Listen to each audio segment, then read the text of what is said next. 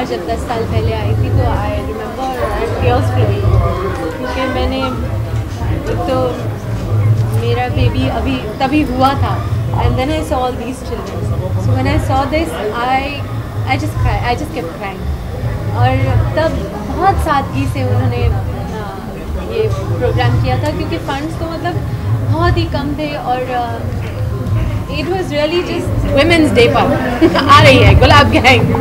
जिसमें है माधुरी और मैं।